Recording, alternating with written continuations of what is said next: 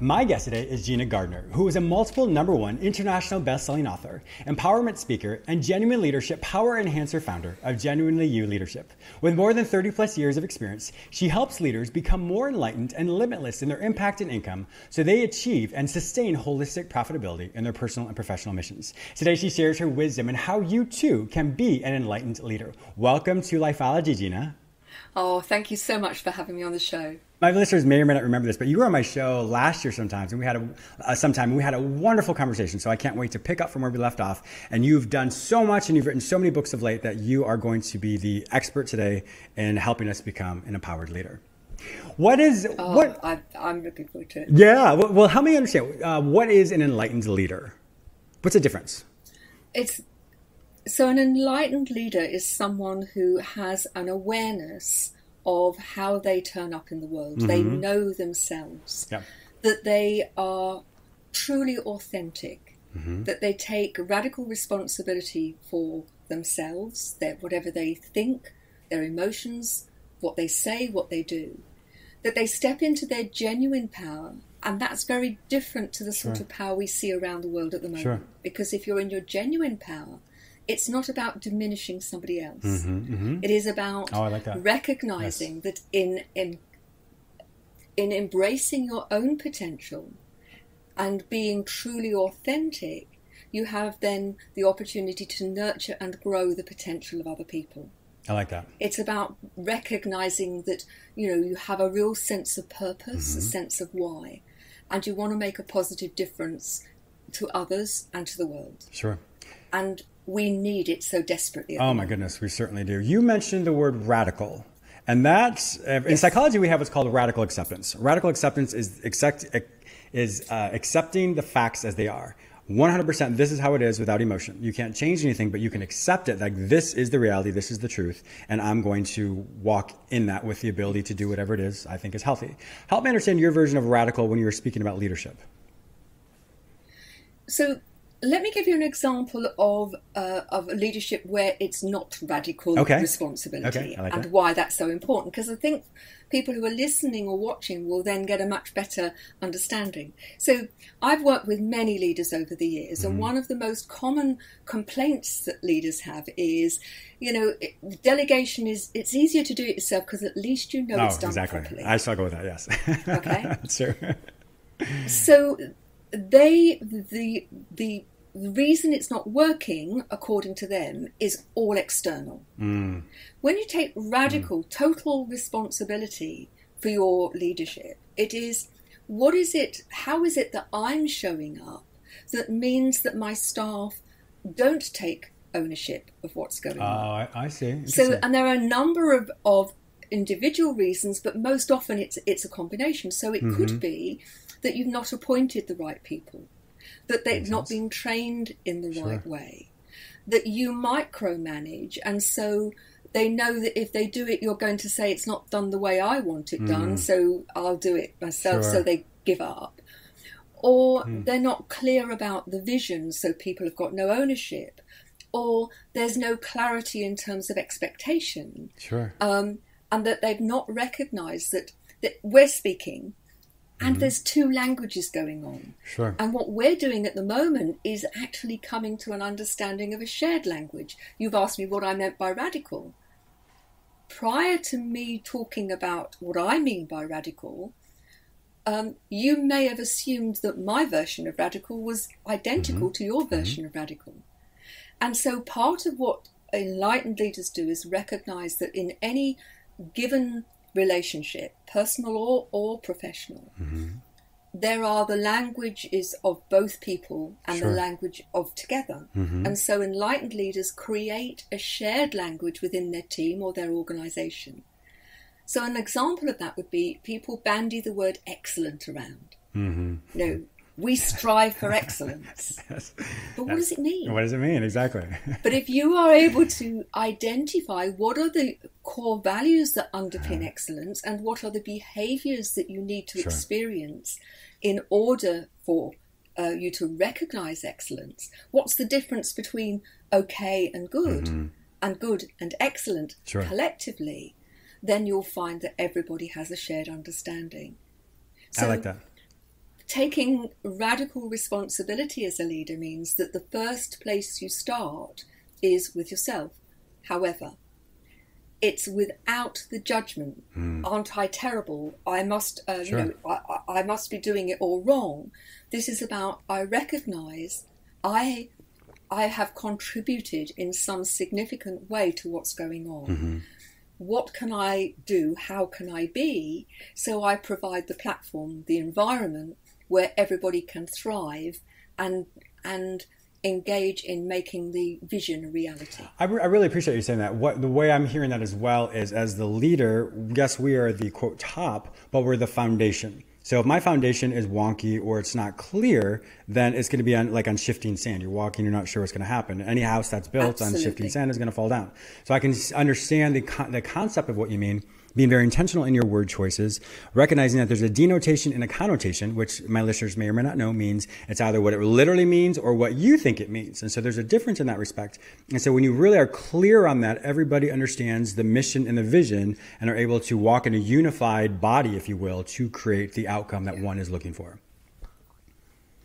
And then when you've created a truly learning organization mm-hmm. where the only two failures are the failure to give it a go sure. and the failure to learn when it hasn't worked, sure. where everybody is involved mm-hmm. and sees themselves as the leading professional for whatever they do, like that. whether that's sure. the cleaner or the CEO, takes a pride in it, mm-hmm. then those organizations fly and the people within it thrive. And one of the challenges that we've got worldwide is the levels of stress and unhappiness, mm-hmm. in huge part because of poor leadership. Sure. And yeah, that true. has an impact on performance, um, on staff absenteeism, which mm-hmm. has a, mm-hmm. a, cost in terms of, you know, if somebody's absent, somebody's got to try and fill the gap. Sure. But the loss of potential is just enormous. Mm-hmm. Whereas if you lead from a different stance, you can harness that potential and those people will be engaged. And, you know, when you look at the research for motivation, money is about number five. Sure. Oh. Having ownership, feeling valued, oh, feeling that you are making an active and valuable contribution which is recognized generally top of the list. Really? So it's the affirmation and just the validation of your hard work and your contribution. Makes sense and re- well, um, it's more than just the validation and the thank you. It's the you taking on board that you are making ah, a difference. Oh, I see. So you are towards okay. makes sense. I so it's that. at several levels, mm-hmm. but it means that you've engaged with the vision. Sure. So your vision, you're you my leader. of it. Mm-hmm. Your vision is something that I I really believe in too. Yeah. I want I want to do what I can to make your vision work and you are recognizing my contribution, my creativity, my solution finding. Sure. I like that. So that generates even more motivation to, to move ahead. Makes perfect sense. And leadership is not just leading down, it's leading across and leading, uh, uh rather, uh, and leading up. Mm-hmm. So leadership is how do you how do you learn to lead as a subordinate? How oh, do you learn to like lead yeah. as a team member? Uh-huh. So it's not one dimensional. Sure. And I, you know, I like. Well, I'm going to piggyback off that in just a second, but I wanted to reflect earlier when you first started talking about the enlightened leader, and you had you were yeah. talking about really empowering those below you. So sometimes a leader can be tyrannical or tyrant of some sort, and they just tell people what to do. Whereas your version of the enlightened leader, and please correct me if I'm wrong, is more about you see the skills and the skill set and the potential in other people, and you work with them so they become leaders. So the enlightened leader is not threatened they simply see and they allow that person to become and flourish in their own leadership ability. And then from there, that's where everybody grows. Because I think the, the misunderstanding with some leaders is if this person is greater than me, then all of a sudden I'm no longer a leader. And that insecurity is then threatened. And therefore their, their style of leadership is more, you know, putting the thumb down of you have to do what I say type of thing. And as we know, that does not, that, that does not engender, um, any type of healthy culture in any situation. It's toxic. Right. It is toxic. But it comes from a place of fear mm-hmm. of not being enough. Sure. And that's why I, I, started off by saying enlightened leaders work on themselves, that they yes. recognize that actually I've got to have a great sense of self worth without the ego. I often Mm-hmm. say, you know, when I'm doing some training, leave your ego under Yes. the pillow with your pajamas or your Yes. nightie, Yes. you know, because it's not going to serve you. Um, and I think when I, I started off in education, as, as, Mm-hmm. as I think you know, I used to talk about it as being, you know, you don't need to be the best boy or girl in the class. Yeah. So I want, as a, an enlightened leader, I want to choose the very best person. And if they're better at me than an aspect, brilliant. Sure. My job is to bring them together. Oh, My job is to create the vision, share it, create the culture, Sure. to get people engaged in it. And I want the creme de la creme. Mm-hmm. I and if I if they they are better at things than I am, brilliant. My job Mm-hmm. is to is to create the space to to nurture people to be better than they think they Mm-hmm. are, and to then make sure that there is a learning environment so they too then start to nurture others Exactly. and you can do that again it doesn't have to be top down all the time Mm-hmm. you know in organizations very often it's the new people who come in who've got new ideas um, and who can see things in a different way that can actually find a way forward so you know i don't know if you've ever seen a, a jigsaw puzzle of a, a 3d jigsaw puzzle of a tin yes. of beans Yeah. That's what this is I like. It's uh-huh. not one dimensional at all. It comes at every level Mm-hmm. and it's it's interconnected. But within that, l- enlightened leaderships come from a place of courage Yes. because sometimes they're having to step out Mm-hmm. and and well they're, they're just uh, breaking new ground. The courage to be tough at times, Sure. But by tough coming from a place of love. Mm-hmm. So if your staff, for example, know that you really do care and value them, you can give them the most um, significant feedback Mm-hmm. and say, James, you know, I think that you're better than this. Mm-hmm. You know what you what you're doing. You that's not who you are. I want better from you because I know you're better than this. Sure. Yeah. Now, if that came from a place where I was tyrannical, I Mm-hmm. was uh, judgmental, I was um, putting people down, that would have a very different energy Sure. behind it. But if that person knows that I am nurturing them, Mm-hmm. that I am wanting the best for them, then those they can take that feedback and it, it acts as, as jet fuel rather than uh, dousing them Sure. um, and putting them down. And I and I, I love that. So and I, I'm sorry. Keep going. No, no, go, go, go. I, I really, as I hear that, you know, I'm thinking of, of times when I've been in, been in those types of positions where I would have to give that type of feedback. And one thing I always do, and, and you're the expert here, but one thing I always do is I make sure that I take a personal inventory before I speak to someone. Am I in a position to give them this feedback? Is if I've done, if something else is happening, there's so much going around, and then I sit and talk to them, but I've allowed other aspects of my life to get in the way just before I speak, then I may have the best intention, but my presentation is off. So I think it's really important as a leader to also be really mindful about the space that you create prior to speaking to someone to really make sure that you are an enlightened leader, you're- aware of what you're experiencing. So therefore you can truly translate what you want to say to the other person or communicate rather. Because without that, then what are you really modeling for your staff if you pretend to be enlightened or think you're enlightened, but yet your space you've created, th- there's a disconnect between your intent versus your presentation. I think that's true. That comes back to how we started this conversation about taking radical responsibility. Mm-hmm. Sure, I love that. You know, take it, and it's a finite. Mm-hmm. You can't take part radical responsibility. It's about the totality Sure. of it. And so, managing your own emotional self, your your where your mindset is, Mm-hmm. um, how the words that you use, the the tone of voice, and so all on that.